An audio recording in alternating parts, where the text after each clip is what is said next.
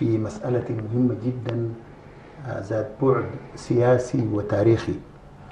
آه، ولعل الحياة السياسية في السودان يعني كانت حافلة بالكثير جدا من القضايا وضمت الكثير جدا من الزعماء والقيادات التي عرفت على مدى التاريخ السوداني منذ الاستقلال وحتى آه، يومنا هذا. الحزب الشيوعي السوداني آه، معروف إنه من الأحزاب الكبيرة على مستوى العالم وعلى مستوى أفريقيا وعلى مستوى دول العالم الثالث خاصة في حقبة الستينات حيث سطع نجم هذا الحزب وكانت له قاعدة عريضة من المثقفين ومن المهنيين ومن النقابات وخلافه. وكانت السيطرة الإعلامية ولعل السيطرة الجماهيرية آه، في أوساط المتعلمين والمثقفين كان لهذا الحزب النصيب المقدر والكبير في ذلك الوقت.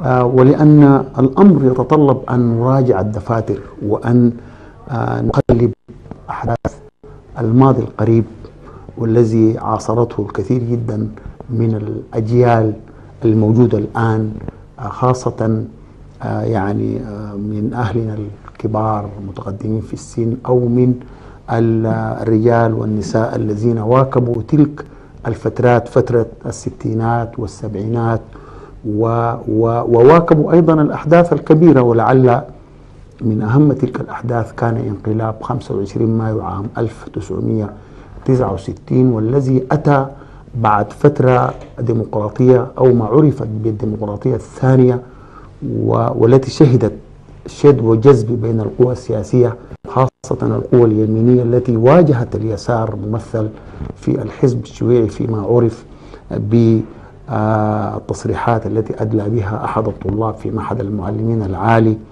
دفع بالقوى السياسية أن تعتبر تلك التصريحات مسيئة وحسبت على الحزب الشيوعي بأكمله فحدثت تداعيات كثيرة جدا أدت إلى طرد الحزب الشيوعي من البرلمان وإبعاده من الحياة السياسية.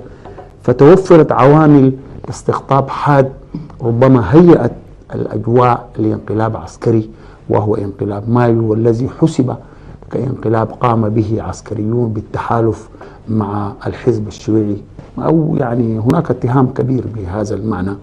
آه نحن سنقلب دفاتر تلك المرحلة بأحداثها وبتداعياتها وبدمائها وبمواجهاتها ومحاكماتها.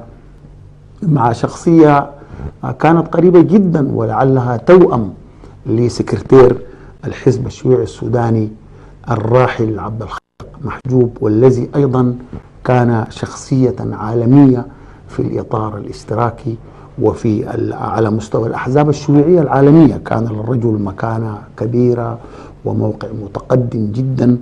آه هذه الشخصية شخصية عبد الخالق أنا أعتقد أنه لم يتم الحديث حول تفاصيلها بعد بالشكل المطلوب ولعلنا في هذه الحلقة مع توأم عبد الخالق محجوب نقلب الدفاتر ونتعرف على الخاص والعام لهذه الشخصية. يسرني جدا أن أبدأ حلقاتي آه هذه مع توأم عبد الخالق وهي الأستاذة نعمات مالك حرم الراحل عبد الخالق محجوب وأقرب الناس إلى قلبه وإلى عقله. ولحسن الطالع فهي تحمل صفتين صفة زوجة وصفة عضو في الحزب الشيوعي. مرحبا بك أستاذة نعمات مالك. أهلا وسهلا يا مرحبا. آه يعني نحن سعداء جدا بأنك تكوني معنا وتفتحي لنا قلبك وعقلك أيضا كي آه يعني نتحدث ونوثق لتلك المراحل المهمة. شكرا جزيلا. أفتكر قلبي مفتوح وعقلي يعني على بعد العمر ده مفتوح إلى حد فلنقل لكن الأحداث القديمة يعني مختزناها. أول حاجة أنا داير أشكركم وأنا جيت رغما عن أشياء كثيرة كان ممكن تمنعني لأني وعدتك وأنا ما احتجت إني اخلف بوعدي نعم. دي نمرة واحد. نمرة اثنين والأهم لأنه بفتكر ده تمليك ما كان حادث في تلك الفترة وتحديدا عن عبد الخالق. ده حق الشعب السوداني أن يعرفه صحيح. من حقه إنه يعرفه.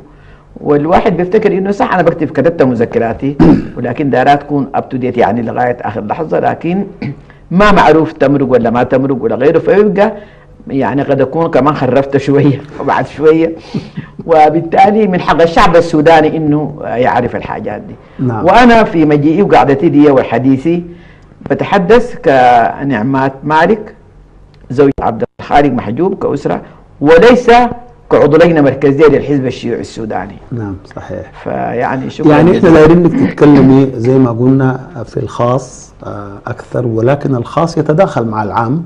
لذلك الأسئلة هي ستكون آه، أسئلة مرتبطة بانعكاسات العام على الخاص. يعني آه، الفكرة كده يعني. طيب يا أستاذة نعمات آه يعني أنا حكون صريح معك جدا. جدا بحسب بحسب نادي الاعترافات مهم و- وبعتقد إنه آه، فكرتنا هي أقرب للتقويم وأقرب للمراجعة وأقرب لاكترار الأحداث وتمليك المشاهد الكريم والأجيال الجديدة معلومات مهمة حول هذه الشخصية ومرتبط بهذه الشخصية من خلال العمل العام. أنا حابدا معك بالخاص. أين التقيت بالراحل عبد الخالق محجوب لأول مرة؟ ومن ذلك اللقاء أنا قصدي المدخل اللي خلق العلاقة الخاصة اللي أدت إلى الزواج بعبد الخالق محجوب. شكرا أنت حددت السؤال تماما. نعم. أول حاجة موضوع تقييم ده يتخيل لي الزول بيقول الحقائق بيقول الحاجات والتقييم ده بيخضع للشعب السوداني ككل ومن حق الناس. يعني أن يقيموه. لا أنا بقدر أقيمه لا زول فينا بيقدر يقيم. يعني التقييم ده متروك على حسب الإفادات. عشان كده أنا حكون واضحة جدا وأمينة وصريحة في الحدود المعقولة يعني. ولو في ولو فيما يسد الاعتراف نعترف. نعترف. هو أنا شفت كلمة احتراف دي طوالي بتودينا أصلا هسه أنا جاي من محكمة. يعني يعني قصة احتراف دي طوالي بدي أدخلك في القصة بتاعت أنت في محكمة ومدان وكده. اللي بيعترف ده بيعترف معناتها بخطأ.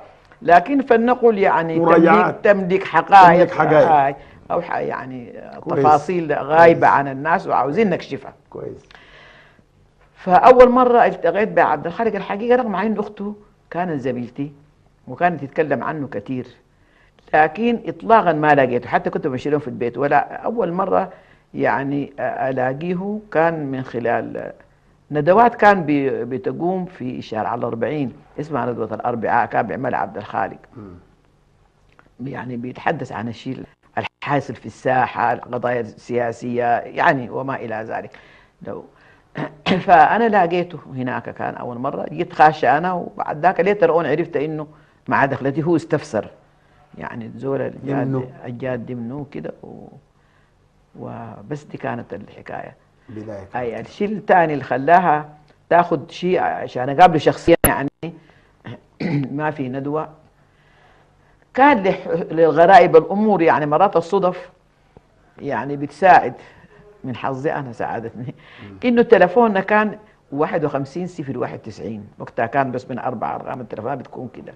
وهو 52 صفر 91 فكان كثير جدا وأنا عندي أخت اسمها هدى واخو اسمه عبد الخالق. فكان كثير بتجي تلفونات الداير هدى لأنه عنده أخت اسمها هدى اللي هو قلت لك زميلتي رحمه الله عليها. وأنت أخوك اسمه عبد الخالق؟ هاي فبقوم يقول واحد تحس بينه صوت راقي يقول لك داير عبد الخالق. فنحن بنستغرب. يقوم يقول لا نحن داير عبد الخالق محجوب الخالق محجوب. فبالنسبة لنا هو كانت واضحة. بالنسبة له في التلفون مختلف معاه وعرف على انه التلفون ده. يعني نحن عرفنا إنه تلفون عبد الخالق مشتبك معانا في متقارب. في الرقم وما إلى ذلك. فكان مرة آه، يعني آه، اتصل بي كان هو شايل هم كان هامي بحكاية وقتها كان النساء ما بيجتمعوا مع الرجال وغيره كان في رابطة المرأة الشيوعية. وجات آه، آه، فكرة إنه يعني ليه يعني ده الوقت حان لإنه ال- وكانت الفكرة دي المتحمسة لها وجابتها الصديقة الراحلة المقيمة سعاد إبراهيم أحمد. فعبد الخالق كان بيتلمس. الحاجات دي هو كان مؤيدة لكن داير يتلمس رأي الناس فيها. فقال عاوز يقابلني كان بيقابل يعني ناس كتار. نعم. على إنه يشوف رايهم شنو في الموضوع ده. ففعلا آه، لبسته ومشيت له فوق البيت دخلت في المكتب حقه وقابلته وتكلم وتكلمنا في الموضوع ده وحاجات يعني حزبية بحتة ما عندها. بس ده ال- القصة وفي. تلك اللقاء يعني كانت في إشارات منه واضحة برغبته في الارتباط بك. والله يعني أنا غايته زي حسيت كده لأنه كانت في تلفونات مستمرة وكده. آه يعني في الحدود ده إلى أن تطورت ال- القصة وأصبحت آه، إلى أن هو تقدم يعني تكلم معي في الموضوع ده إنه كده كده. جميل جدا يا أستاذ. طيب اذا اذا تعرفت على عبد الخالق و يعني توج هذا التعارف بزواج هو ابدا رغبة و... وإنت استجبتي. الزواج كان تقليدي. تجاوبت الحقيقة مش استجبت. تجاوبتي. تجاوبتي. تفاعلت. تفاعل نعم. طيب. آه ال- الزواج كان تقليدي ولا كان يا هو على الطريقة السودانية؟ عرس وحفلة وفنان وحنة وكذا. والله كان مبسط جدا جدا. قناعات يعني حتى أنا أولادي زوجتهم بالطريقة دي. بفتكر يعني الصرف بزخي ما في محله يعني. يعني ما في له معنى. وعبد الحي طبعا بحكم وضعه يعني زول آه، يعني محافظ شديد في الحاجات زي دي والهيلمان والهيجة. فكان حاجة بسيطة. أنا عملت حاجة بسيطة في بيتنا دعيت زميلاتي وبنات هليل في سني. كانت حاجة مختصرة جدا. تونسنا وتعشينا وغيره. فبعد ذاك انتقلنا لهناك في بيت عبد الخالق. ما كان في غير مجموعة من ال فنان من كان من, عرس. من الزملاء. ما في؟ ما في فنان ولا أي حاجة. بس الناس كانوا قاعدين في البيت بتونسوا مجموعة من الشيوعيين. طبعا في ناس ما جوا من الشيوعيين لأنه كان في موقف. الموقف كان شنو يا أستاذ نعمات يعني يعني في كلام عن إنه ال ال ال ال الزواج ده يعني يعني الحزب الشيوعي ناقشوا مع إنه حاجة خاصة في بعد خاص ناقشوا واجتمعوا ويتكلموا وفي ثلاثة أربعة أنفار أبدوا وجهة نظر القصة كانت شنو بالضبط؟ والله القصة أوريك لها مهم جدا الناس تعرفها يعني من نعم. خلال ممكن تتعرف على شخصية عبد الخالق. القصة ب- هيصة كبيرة جدا جدا زواج السكرتير بقت الحزب ما عنده شغله غير مناقشة آه، زواج السكرتير السكرتير. إنه يعني يعني رمونا باتهامات حتى جرحوا الأسرة ككل أسرتي الحقيقة الحجمه كانت كبيرة جدا يعني وأنا وصلتني حاجات كثيرة يعني مضايقات بصور مختلفة. فأخذت لي وقت يعني زي قلت يعني دي حاجة يعني النفس الزول البشر ده ما عنده حدود تحس بانك أنت خلاص. عضو- كعضو حزب هلا عرض الحزب قعدت أوازن بين ال- الحاجات. فقام عبد الخالق قال لي أنت ما تنزعجي الموضوع ده ما خاص فيكي. ما مقصودة به أنت سوري ده مقصود به أنا مقصود به أنا ودي عملية بتاعت يعني في ناس بتاع أصلا بيفتروا من النضال بيشوفوا سبوبه زي دي آه، ده. فقام في الآخر طرح موقفه كان واضح جدا. قال أنا يعني لازم أضع آه، حاجة ثابتة موقف ثابت يكون هدي في الحزب الشيوعي. انه موضوع الزواج ده موضوع خاص. ما من حق أي زول يتدخل فوقه ولا الحزب ولا أفراد يعني. وبالتالي عشان كده رغم عن ذلك والهيصة اللي كانت حاصله تزوجنا وسافرنا طوالي. مم. وين كان شهر العسل؟ والله مشينا ال- الاتحاد السوفيتي وبلغاريا. كان شهر العسل كان في الاتحاد السوفيتي. عز الدين علي عامر الله يرحمه. طيب يا أستاذ عاد، خلاص نحن كده ننتقل شوية من الخاص للعام. نعم. انت أنا قصدت المدخل الخاص لأنه المدخل الخاص ده هو الصندوق اللي حيكون فيه المعلومات الكثيرة اللي حنتكلم فيها في الجوانب اللي متعلقة بالسكرتير كسكرتير للحزب الشيوعي وكشخصية سياسية عامة. بتكون انت طبعا بحكم ال- الصفتين ديل خاصة الصفة الأولى بتمكن الزوجة من أنها تتعرف على الأشياء لأنه بطبيعة الحال الزوج في الغالب بيبوح بكل الأشياء لزوجته خاصة إذا كانت الزوجة مثقفة ومنتمية لنفس ال- المدرسة اللي هو بينتمي لها. آه أنا داير أعرف حاجة محددة جدا. طيب أنت بتتذكري تماما ال ال ال الشد والجذب والاستقطاب اللي أدى لإبعاد وطرد الحزب الشيوعي؟ ده نحن تكلمنا فيه كثير نعم. هل في الوقت ذاك مع الاستقطاب الحاد والسكرتير زوجك مجموعة الضباط مجلس قيادة الضباط بتاع مايو كان بيجتمع قبلها وبيقيم الوضع السياسي العام وبيكون يعني يعني متعرف على التوقيت المناسب. هل عبد الخالق محجوب الراحل عبد الخالق هل قبل قيام الانقلاب وانت زوجته في البيت وبتتابع تحركاته وبيتونس معك وك- وكذا هل جاك أي إحساس بإنه في ضباط على معرفة ودراية ونقاش وحوار مع السكرتير إذا كان عندكم في البيت إذا كان في أي مكان آخر إذا كان عبد خالق حكى لك. شو أول حاجة؟ أشكرك على كلمة زوجته لأنه أنا بفتكر إنه أنا ما زلت زوجته كلمه ارمله دي ذاتها ما قاعد تريد ارمله آه يا ارمله دي معناتها بتنتهي القصة ما عشان تديها المجال لانها تعاد تستانس. وأنا معنويه فعلى أي حال يعني شوف كلامك في الأول صح. إنه أي زوج حتى يمكن لو الزول ما منتمي مجرد يعني ممكن يكون ليس بالضرورة الشيوعيه الديمقراطيه ما دام زوجها في حاجات محددة لازم زوجها يتكلم أو يشاور فيها أو يسأل خاصة لما- يعني في موقف الحزب الشيوعي موضوع فيها تأمينات موضوع فيها ريسك موضوع فيها تخوفات وكده. فعبد الخالق عنده حدود يعني في الحاجة ال- ال- الممكنه ما لأنه أنا كان ما عرفتها منه بعرفها بعد ذاك بفتكر العضوية يعني. صحيح. لكن قد تقول ممكن نقول بعرفها قبل ما اعتمره باعتبار إنه مش لأنه هو داير نعم نعم. أي في في أنت بتتحدث عن انقلاب بايو مش كده؟ صحيح. أيوه يعني ما هو كسكرتير الحزب الشيوعي ولو تتذكر البيان بتاع ناس. ما ما كان الكلام كان بيقولوا فوق الشيوعيين. صح. البيان طلعوه نفس ال... صح. وكانوا الشيوعيين ديل كانوا يعني طبعا ماشيين في المد بتاع ترشيحات لرئاسة الجمهورية وغيرها. حتى كان زمان كان مرشحون بكر عوض الله. وكده فشيء من الطبيعي إنهم إجوا وهم تحت مظلة الضباط الأحرار اللي هي لما اتجاهات معظمهم اشتراكيين طبعا. أو نعم، أو يعني نعم. نعم. فكان من الطبيعي يطرقوا باب آه، سكرتير الحزب الشيوعي السوداني.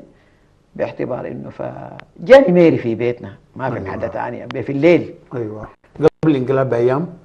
قبل ال- ال- ال- قبل- ليلة الانقلاب يعني بكرة وحيحصل يعني. آه 24 مايو مثلا. نعم 24 آية فجاء فوق البيت ووقت متأخر شوية يعني يعني ما ستة ما سبعة ما كده المهم. فرأيت أنا بالنسبة لي إنه في ضيفان برا وديت الشيء المت- المتوفر في البيت يعني. عشاء كان يعني ولا شاي؟ تذكري؟ لا يعني وقتها كان يعني افتكر عبد الخير ده ما بريد القهوة وأي زول بيجو كان بيحب القهوة قهوة بعد. شوية حاجة ثانية سناكس يعني المهم ف بعد ما الناس ديل مرقوا ما كان براو فالمهم فعبد الخالق بعدها جاء آه، شايل ورق مشى مكتب وشايل ورق كثير جدا جدا قام قال لي الورق ده تاع مني مم. أنا كنت حامل. يعني. وكده. ف أأمن محلها. كانت بطني شلت الورق وخطيته جوا بطني وكده. إنه الناس ديل حيعملوا. قرروا يعملوا انقلاب وكده كده. عبد الخالق كان بيفتكر إنه وقالوا يعني وطلع بيان من الحزب الشيوعي. الناس كلها بتستحضروا وبتتذكروا كان بيفتكر إنه المد بتاع الثورة الوطنية الديمقراطية والمد الجماهيري لا ماشي. وحينضج بعد شوية. وده الشيء الامثل لتغيير نظام الحكم الشمولي أو أو يعني وليس عن طريق انقلاب عسكري طلع قاموا حصل انقلاب ما كان في احتمال إنه قد يفشل وبالتالي كان لازم يمروا من البيت يعني لأنه كان فشل الانقلاب بيان ده ما كأنه ده بيان الحزب الشيوعي وللأسف بقول لك الشيوعيين عملوا البيان عمله. هو ولا بالاتفاق معاه؟ ولا عنده اي علاقه البيان. كتبوه وعملوهم مم. طيب كويس اختفى فمش اختفى على انه البتاع ده قد يفشل. لكن يا أستاذ هنا قاطعك شوية. يعني. في في مغالطه وفي كلام كثير جدا عنه. الحزب الشيوعي لم يعني يعني يقوم يقوم أو يعمل هذا الانقلاب. دي حقيقة. طيب. الحزب الشيوعي ما عمل طيب الانقلاب دلوقتي نميري جلع عبد الخالق ليلة الانقلاب 24 قبل التنفيذ. أيوه. معناه يمكن شاوروا يعني. ابدا. جاء بيفتكر إنه ممكن يلقى الدعم. من الحزب الشيوعي بما إنه الكلام المقدمين هم ده نفس كلامكم. عرفتها؟ آه. هاي. هل شعرت بأنه عبد الخالق كان راضي ولا ما كان راضي؟ ما كان راضي. بالليل. بيفتكر إنه زي ما قلت لك ال- ال- ال- ال- الطريق والشغل والتقدم بتاع من مفاهيم قيام الثورة الوطنية الديمقراطية والمد الجماهيري كان الحريات ناضج. كان حينضج. ماشي يعني في الخط. وبالتالي ما في في معنى المناخ بتاع الحريات. في المناخ. ما في داعي يتقطع الطريق. ما في معنى يتغلب بين قطاع العسكري يعني. علق الامثل لك بعد بعد ما نميري مشى هل علق لك؟ علق. تونس معك شوية. ما هو ده الكلام اللي كان بيقول ده. الكلام. كان. لكن البيان كتبوهم بدليل. وعبد الخالق طبعا راجل كان ذكي يعني كسياسي وكشخص.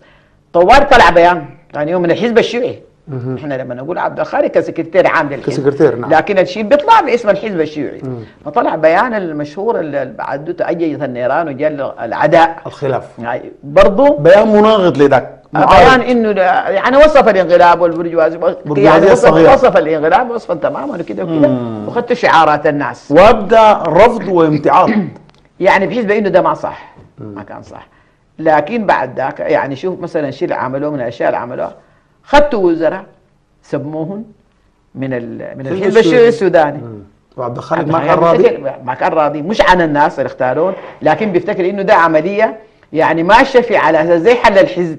مم. ليش؟ لأنه أنت ما ممكن في حزب موجود وأنت بتحترف بسكرتيره وبتحترف بوجود الحزب وعاوزه كمان يديك يعني هنا. والاختيار ممكن يكون تم بدون علم السكرتير. بدون علم الحزب. بدون علم بدون علم الحزب وبالتالي دي كانت ها بيعتبرها ب- بداية آه، مشكلة قد تقود اذا بدت المشاكل هاي وبدت الحساسيات وبدت الخلافات من النقطة دي هي خلاف هو اختلاف تام ما ما اختلاف ما. خلاف واختلافات آه. ما ما تطورت مم. يعني تطور. الأمور نعم. تطورت آي. ووصلت لدرجة إنه أصبحت هناك قطيعة بين عبد الخالق السكرتير يعني آه، سكرتير الحزب الشيوعي والانقلابيين الجدد ديل يعني يعني واضح إنه بدليل إنه بعد ذاك بدأت المضايقات. يعني عبد الخالق بدأ يحس وأنت كزوجته في البيت والحزب الشيوعي عامة بدأ يحس بأنه في مضايقات مع بدأت تحصل لعبد الخالق نفسه.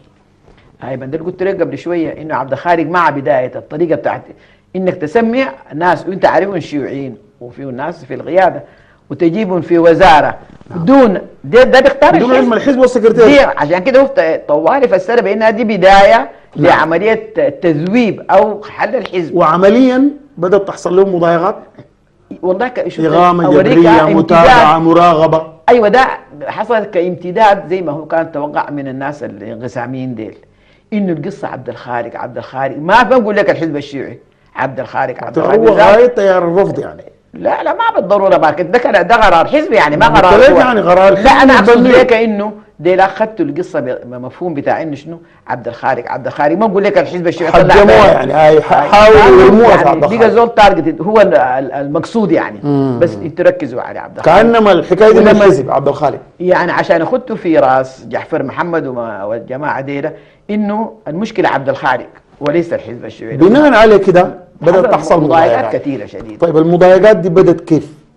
هل إقامة جبرية؟ هل ملاحقة؟ هل متابعة؟ المضايقات وصلت حد النفي من البلد طيب ما أنا أنا متدرج معك يعني يعني يعني بعد بيانه ال- اللي عارض أو أبدى فيه وجهة نظر في البرجوازية الصغيرة و و والتيار بتاع المجموعة الأخرى بدأ يرسخ لفكرة إنه ده عبد الخالق ده من الحزب بدت بعد ذاك بعض الاجراءات تتخذ في مواجهته. بدت الاجراءات بشنو؟ شوف أول حاجة آه، جعفر محمد ده وهو زول آه، وقتها هو رئيس انق- انقلابي.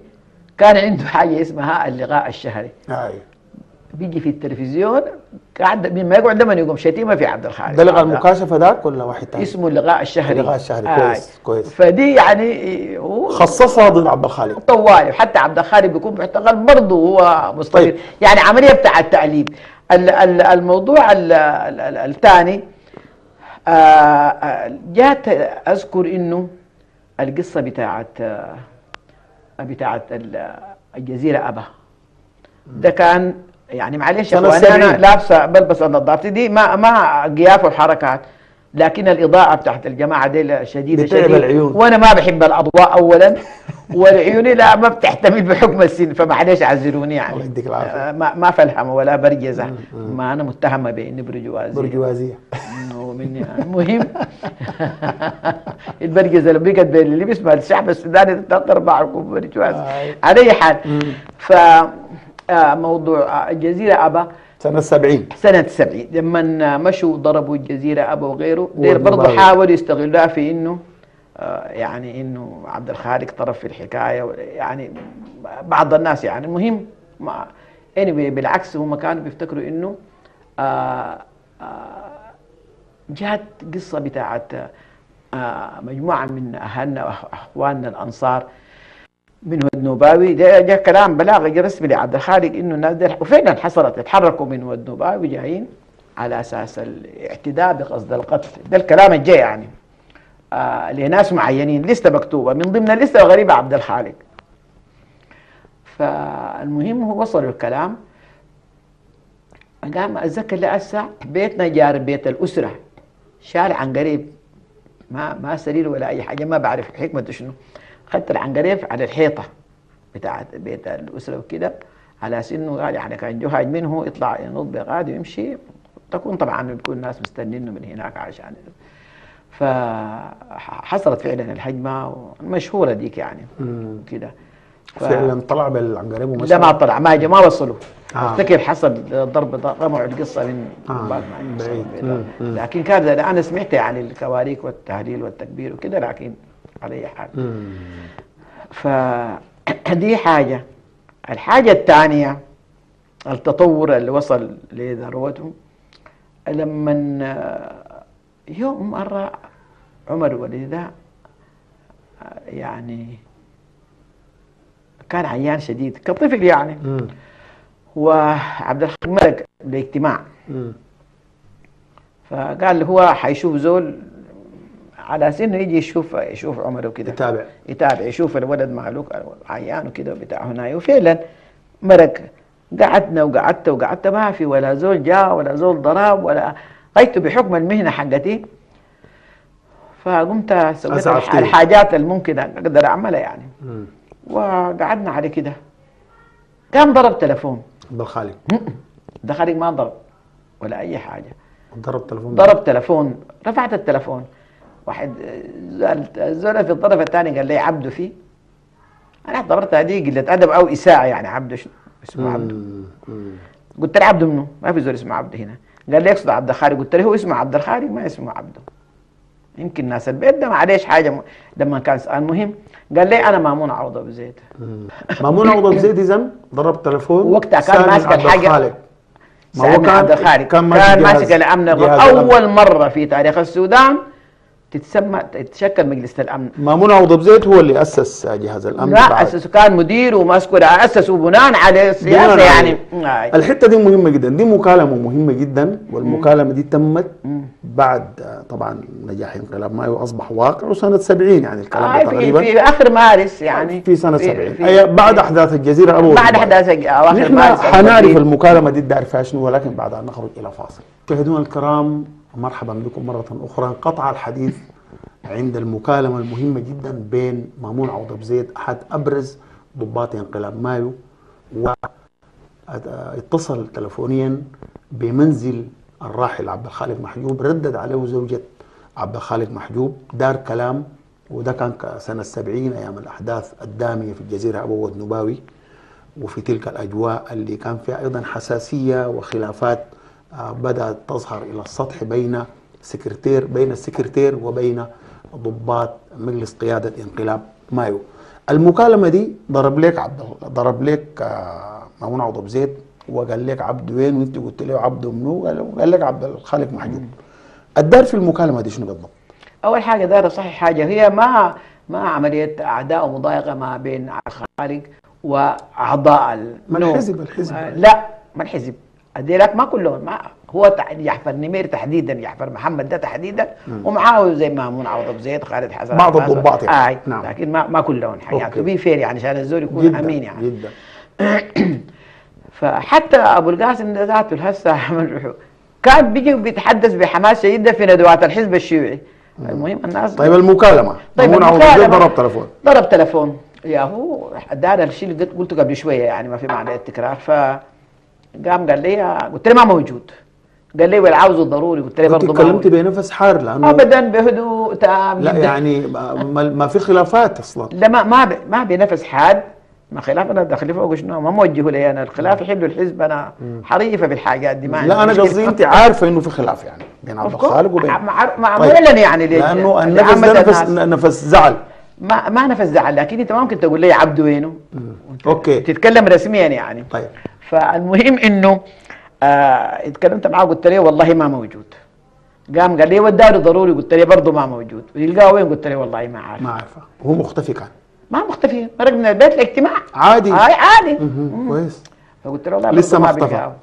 فقام قال لي خلاص يعني لو سمحتي آه، في تلفونات أنا بخط عليكي آه، أول ما يجي قول لهم قام مامون عوض ابو زيد قال لك اتصل بيه ضروري. فقلت له جدا.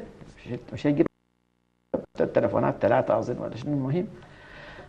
فبعد بمسافه بعد المكالمة دي بمسافه ضرب عبد الخالق أها حاصل عليكم شنو شنو؟ قلت له والله نحمد الله كويسين ماشي الحال يعني. آه قلت له أكيد حصل كيت كيت كيت حكيت له. بالقصة دي هاي مم. فقام قلت له قال لك آه، تتصل به في واحدة من النمر دي. ضروري جدا جدا. قام قال أيوه بيكون غالبا في موضوع الجزيرة مم. طوال قال كده. أتوقع حاجة آه. ف قام قعدنا لغاية الواطه صبحت عبد الخالق ما جاء. الواطة مشيت لي قدام قربت الظهر عبد الخالق ما جاء.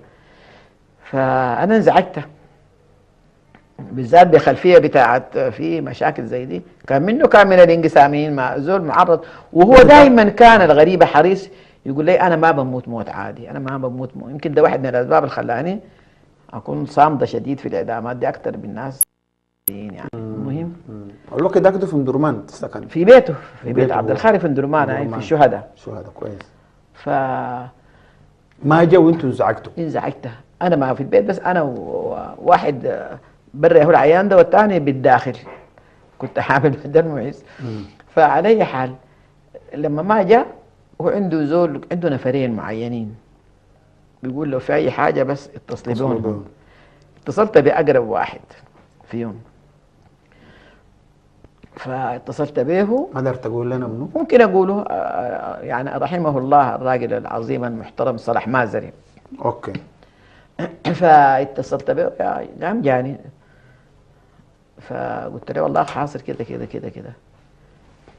قام قال لي okay خلاص. فات مشى.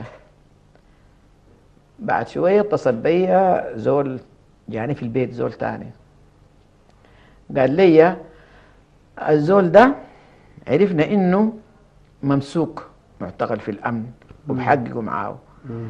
قالوا على إنه طبعا منذ ذاته قالوا على إنه اكلموا الشيوعيين ما يمرقوا الموضوع ده يعني. مجرد تحقيق بنسأله في بعض الحاجات وبنطلق سراحه لكن لو طلعوا الكلام إنه هو معتقل وكده يعني إحنا ما حنقدر نفكه. فقال لي حصل كده كده كده وقالوا كده. قلت له أنا ما بقرر امرق ولا ما امرقه برضه ضربت ليه ليه صلاح تاني. حصل كده قلت له جات معلومة كده كده كده كده من منو من كده كده كده وريته. فدقيقة يعني. على أي حال. بعد ذاك مشيت المعلومة الشخص اللي جاك ده هو ما بقدر أقول والله. okay خليه. آه، فبعد ذاك في البيت الأسرة مشيت لمحمد محمد أخو عبد الخالق الله يرحمه. وكلمته قلت له يا محمد حاصل كيت وكيت وكيت وكيت وكيت و... وبس. وأنا تصرفت بالطريقة ال- أكيد أنت كأسرة لازم تكون عارف محمد زول وأخوه وزول شيوعي و... عبد الخالق بيعتبره زي ولده كمان يعني أسريا وسياسيا وكده المهم فمن حقه يعرف. فعلى أي حال عبد الخالق اليوم مشى ومرة لا فكوه لا لا لا لا. أن جانا عرفت على إنه عبد الخالق ده نفوه ودى مصر أوكي المنفى. هاي. المنفى كان في القاهرة. نعم. طيب بعد ما مشى القاهرة للمنفى هل قدرت تمشي تحصلوه هناك؟ الحقيقة في حاجة مهمة قبالها حصيلته الحاجة المهمة إنه هو لما سافر سافر طبعا مرق من البيت ب- بمنطلون وقميص المهم ما خلوه لا يتصل حسب كلام عبد الخالق. قال قلت لهم بس أضرب تلفون في البيت. طيب دخلوا اشتغلوا. ولا سؤال ولا أي حاجة. وأضرب تلفون طيب للبيت أكلمهم. قال لي والله التعليم مامون ما لقى نهائي ولا جا ولا ور وشه بس وتم الاعتقال. قال عندنا تعليمات لكده كده والتعليمات اللي عندنا انت ما ولا تتكلم بتلفون ولا ولا ولا سكت طبعا هو راجل زول باله طويل وما عنده مشكلة. هناك لكن الغريبة في الموضوع إنه جابوا لهم طيارة. لما مشى على ال- المطار عشان يودوهم بورا كان في نفس اليوم ونفس الطيارة إنه في معاه آه، الإمام الصادق المهدي. الإمام الصادق المهدي معاه أمه وزوجته. مم. يعني شوف إذا كان أنت عندك مشكلة قلت الجزيره أبوي أنا وغيره عندك مع حزب الأمة وقلت أنت تقدم وده حزب رجعي. ده ده حموه أي حاجة. أمريكا مؤشر إلى إنه كمية العداء وحجم الاستهداف. حجم الاستهداف.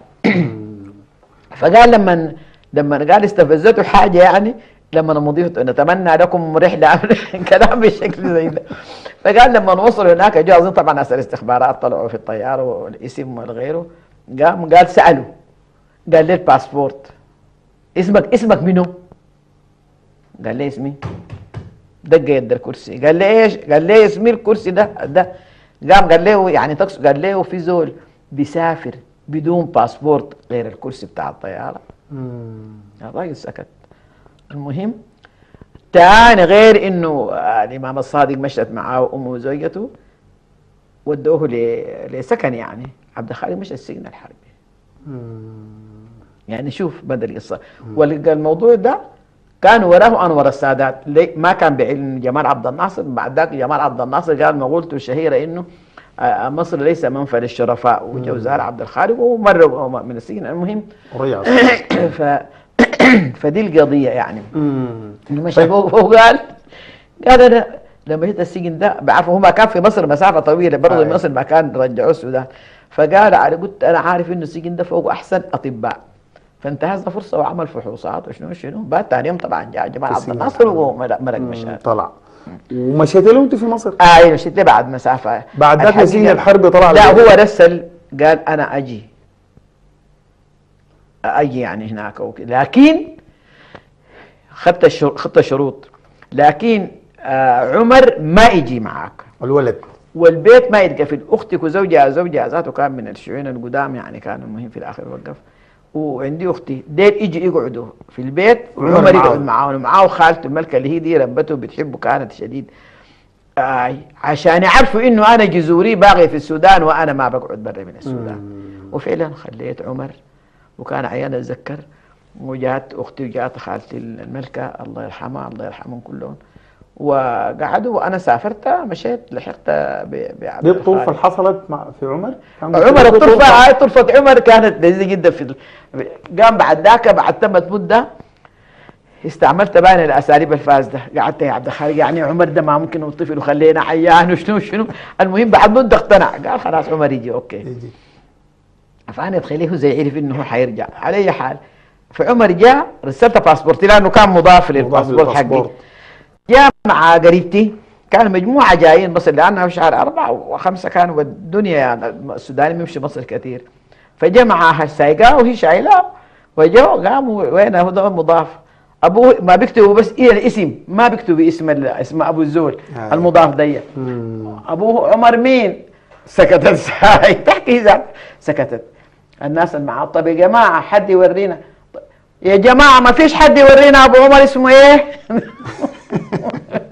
في الآخر يعني شوف حد الإرهاب. يعني حتى ما دارين يجيبوا إسم عبد الخالق ولو حتى هم في مصر عشان دماغ وخلوا الناس يعني صور عبد الخالق ده حاجة حتى الناس تخاف منه ففعلا دي عمر دي عمر ده مر طيب قعدتوا قدر شنو هناك معه في المنفى؟ ما كثير يعني لأن جينا جينا جينا طوالي لأنه جاء بعد مايو. اعياد كانوا بيعملوا اعياد بيصرفوا أموال. الشعب السوداني كله فيها. المهم آه تقريبا كان كم شهر يعني؟ شهرين المنفى ولا كم؟ ما كان شهر أربعة مش شهر أوائل لا قصدي المدة كلها كم؟ يا هدي جينا ما قلت لك جينا في آخر مايو أوكي. أو أو أول ستة الرجعة كانت سوا رجعتوا سوا آه لأنه كانت جات احتفالاتهم دي ودعوا عبد الناصر. آه. وعبد الناصر لو تتذكر ما كان بيتحرك ما بيحب الظهور كثير. فرسل لعبد الخالق. مش قابله فقال له يا أخي أنا يعني ما ما ما يعني ما داير أمشي للاحتلال لكن أنا حأمشي عشان أناقش موضوعك ده إنه أنا عبد الخالق ما بمسكه نحن ما منفى. لو دارين أنا حرجع السودان انت لو دارين تدوم كده يعني. فأنا حمشي قام قال له خلاص كويس. فعلا عبد الناصر مشى. يوم واحد حضر الاحتفال وجا راجع. أول ما جاء رسل لعبد الخالق. عبد الخالق مشى قابله. فقال أنا تكلمت مع الجماعة ديل وقبلوا خلاص انت بعد ده يعني ترجع خلاص. ورجع السودان. يعني كان أنا بتذكر اليوم ده كان مبسوط. يعني أول مرة أشوفه تعبيره بالفرحة واصل حد واصل حد كبير جدا جدا يعني في عشان رجع السودان. عشان رجع السودان. حتى اتذكر أنا كنت في بقالة بشتري في حاجات يعني في البيت الأكل اهو ناس كان بيجي من السودان بيجي يعني يزوروا هناك وكده. بس أنا لما رجعت جا لاحقني في ال- هنا. عشان يقول إنه مبسوط إنه ماشي. لأنه كان في كلام داير هنا من البعض يعني إنه نمي- جعفر محمد ده كان ماشي آه الاتحاد السوفيتي. فإنه ما خلاص عبد الخالق ده ما يمشي ويقابله هناك ويتفاهم معاه وعبد الخالق عنده القدرة على إنه يتكلم. الحكاية دي زعلته شديد. فقال تعبير هو دائما لما يدور الكلام يصل بيقوم ما بعاين للزول لكن قال يعني أنا نفوني عشان عيوني عسلية ولا عشان عندي صلعة ولا عشان اسمي عبد الخالق. أنا ما نفوني عشان سكرتير الحزب. أنا ما بمشي موسكو بمشي أي محلة. وكان مرتب إنه قبال مع عبد الناصر ده يجي كان في ترتيب لإنه يتهرب يرجع السودان يعني بالتهريب وكده. حتى الزول ذاته كان موجود مره في واحد من المقابلات مع عبد الناصر فقام بيتكلم معاه قال لي الله يا بمهنته. انت عاوز تهربوا عبد الخالق. عبد الخالق ما يتهربش مصر. عبد الخالق يروح بالمطار نوديه نحن. فدي كانت ال... رجع عبد الخالق. نعم. رجعتوا سوا مع بعض ولا أنتوا جيتوا قدامه؟ لا أنا جيت قباله. قدامه. كويس جدا. لأنه هو كان داير يعني يعني يستطلع، له عشان أنا أستطيع لأنه صحيح. كان بيفتكر إنه ما حيطلقوا سراحه ما حي... كان في كلام إنه يودوا لي داير يعرف ح- بدليل التوجه ماشي بدليل. إنه بعد ما رجع ودوا البعقير ما كان في صلح يعني طوال من منفى إلى منفى يعني آه، منفى. داخلي ده. منفى بالضبط. ده منفى وطني كمان بالضبط داخل بلدك أنت داخل بلدك هاي. كان وين المنفى الثاني الجديد؟ في في قامة في. مزرعة ناس عثمان صالح ليه اختاروا يعني والله؟ أنا ذاته زعلانة ما قدرت أمشي أحضر ال- التأبين بتاع الراحل عميد الأسرة لا الناس عثمان صالح لكن معلش المزرعة حقتهم اختار الحتة دي عبد الخالق يعني؟ ما اختاروا لا من المطار ودوه هناك. آه المزرعة مصادرة. المزرعة مصادرة. وعبد الخالق ما كان عنده رأي واضح آه مع في المصادرات. آي إنه يعني ما في يعني يعني اذا ال- آه، اذا الم- المزرعة مصادرة وعبد الخالق تم يعني تحديد إقامته داخل هذه نعم. المزرعة. نعم نعم. مكث فيها لفترة قبل شنو؟ قعد فيها مما جاء اللي هو زي أول ستة أنا التواريخ دي كانت ما في مذكرات يعني فترة- لكن فترة تقريبا يعني شهر، شهرين. آه، قريب الشهرين شهرين مم، كنت تقريباً. تقدر تمشي هناك أنت؟ قعدت مشيت هاي كنت كنت بقعد هناك بشكل كامل قاعد مشيت. قعدت هاي قعدت هناك لأنه بيجوا ناس كتار. وكده أتذكر ناس كتار معنا اجتماعات يعني مثلا؟ لا ناس بيجوا من الأقاليم دارين يسلموا عليه وما كانت زيارته ممنوعة مم. زيارة مفتوحة ما كانت ممنوعة الاجتماعات كان بيتم ولا برضه ممنوعة؟ لا لا لا ما في يعني ما في طبعا. ما إقامة جبرية. المهم هو موجود والجوعين قاعدين يجوا يعني كويس على أي حال. ده- كان في أي زول من من الشخصيات المعروفة دي؟ الضباط نميري خالد بتاع؟ جاء جاء مامون عوض ابو زيد ومعاه واحد ثاني من يعني. كان بيجوا يعني. آه، منو منو الثاني آه، أفتكر. خالد أبو آه، القاسم. أبو المهم القاسم، كان هاشم حتى لما. هاشم ده ناس حاجة ذاته ما كانوا المهم ابو القاسم على اي. حال حاجة زي دي يعني. okay. فقام قال له إنه آه، هو طبعا مرات بيجيب الكلام بال- باللفة كده بس. فقام نجيب عشان يجدوه موية يعني. فقام قال لي يا ولد جيب لهم من موية الخرطوم ما تجيب لهم من موية الباقير دي لأنها ما نظيفة وكلها فيها أمراض. طيب الجيه بتاعت مامون كان لها علاقة بحوار وتفاوض ولا الغرض من الناس؟ ولا أي شيء بس جسة نبض افتكر بيفتكروا يمكن يعني ودينا فينا وده تهديد ممكن نوديك محل ثاني قد يخليه يعني يتراجع أو كده. فجو جس شافوه يقول يا هو هو ذاته. طيب بعد ذاك طلع من ال من ال من ال الجديدة. حصلت حملة كبيرة جدا جدا. الغريبة اللي هنا بتاعتها كان تذكرتها كان فتشتها جبتها كانت فوق صوره عبد الخالق ورا إطلاق صراع عبد الخالق وعايد عايد عبد الخالق. كانت حملة كبيرة شديد على مستوى السودان يعني. من ال من الحزب الشيوعي. من الحزب الشيوعي من الديمقراطيين ومن الناس كتار ال- الأصدقاء. كانت تتنظم تماما نقابات طلاب شباب المهم نساء. فكان في مدني. نميري ماشي مدني جعفر محمد ده ماشي مدني. و آه، لحاجة زيارة. فدير طوالي واجهوه بالشاين الافتات. عايد ع- الهتاف كان عايد عايد عبد الخالق. هو حافظ ما عايد ما عايد فالمهم إنه في الآخر عبد الخالق عاد. أطلعوا سراحه طيب. اطلعوا سراحه يعني بسبب الضغوط دي ولا بسبب الوصول معاه لنقطة تفاوض حوار؟ يعني ولا الوضع كما هو؟ يعني موقفه هو موقفه ولكن تحت الضغوط تم إطلاق سراحه لا اعتقد تحت الضغوط تم صلاحه لأنه استمر القصة وبعد ذاك حصل ما هو اسوء موقفه إذا استمر في موقف آه. بل ممكن يكون عمل كلام صعب جمال عبد الناصر صعب. هم دايرين يكسبوا يكسبوا آي. يكسبوه لكن مم. مش عاوزين يكسبوا عبد الخالق كلام جمال عبد الناصر حصل فيه شيء ما بعرف خوفون من الحكاية دي خلاهم يعني يتراجعوا إلى حين وهل هو حين. وهو هو في موقفه لكن رغم يتراجعوا أصلا إلى حين. زحزح حتى بالعكس ماشي زايد. الحصل لهم شنو بعد؟ ما ما ما حددوا إقامته اطلقوا سراحه المضايقات استمرت؟ ولا جا البيت عادي وبقى يمارس لا- نشاطه لا. السياسي؟ جاء جاء البيت. جاء البيت. جاء البيت وكان قاعد في البيت. إلى أن جاءت القصة بتاعت ال- اسمع العطاء القصة بتاعت لا شو العطاء قصة الاحتغال. عبد الخالق آه، لما حركة 19 يوليو ما كان في الشدره ما قام اعتقل لما لما آه، اعفوا بعض أعضاء قياد مجلس في 16 نوفمبر هاشم العطاء هاشم العطاء وبعد كده النور وفاروق حمد الله. عبد الخالق آه، تم احتغاله.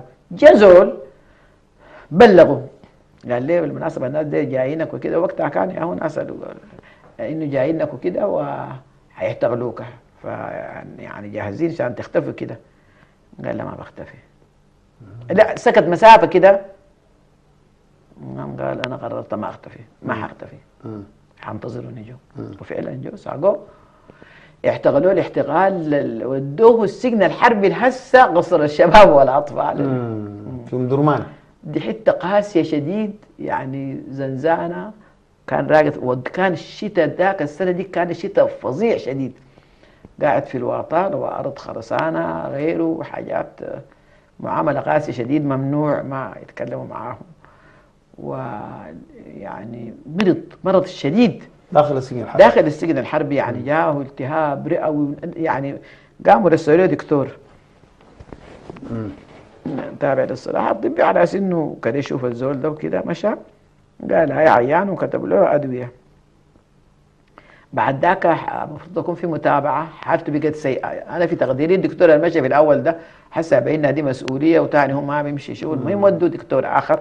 الأولاني ما بقول اسمه لكن الثاني بقول اسمه رحمة الله عليه يعني بقدر ما اعطى عبد الرحمن الدرديري عبد الدرديري. اللي هو كان في السلاح تابع. حالته في مشى. وكتب كلام محدد إنه الزول ده حيموت. إذا ما. حولوا اذا عنايه اذا ورعايه وفعلا تم تحويله. من السجن الحربي زنزانه السجن الحربي للشدره الشجرة. اذا عبد الخالق تم نقله من السجن الحربي بناء على توصية الطبيب بأنه حالته الصحيه كانت بطاله شديد فعلاً. متدهورة. آه. فتم نقله لسلاح الذخيرة في في في الشجرة. الشجرة نحن حنواصل ولكن بعد أن نخرج إلى مرحبا بكم مرة أخرى. نحن توقفنا عند محطة نقل عبد الخالق محجوب من السجن الحربي بن درمان آه، معسكر الشجرة اللي هو المدرعات يعني أو سلاح الذخيرة. وهناك أيضا تم تحديد إقامته يعني برضو اعتقال. هل قدرت تزوروه هناك أنت؟ والحاجة ما كان احتقال ولا تحديد إقامة.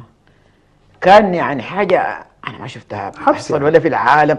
يعني زول مخطوط في أوضة مقفول عليه ممنوع حتى الحارس اللي قدام الباب ما يتكلم معه وده جعفر ده قال لهم ما في زول يتكلم مع الزول ده زي الساحر كان تكلمتوا معاه وبيقلب رايكم آه ما في جرايد ما في اتصال ما في زيارة لأسرته بس كده. عزلة تامة. عزلة تامة لكن فوق رأي. حسب تحليلاتهم هم بعض الأطباء بتاعينهم وأنا علمت إن برضه دخلوا فيها أطباء من بعض المصريين قلت لك كانوا ورا السادات كان المهم. إنه الزول لما يعني يتم يكون قاعد في عزلة تامة لفترة محددة بيفقد الذاكرة يعني ما بيكون هو ذاته.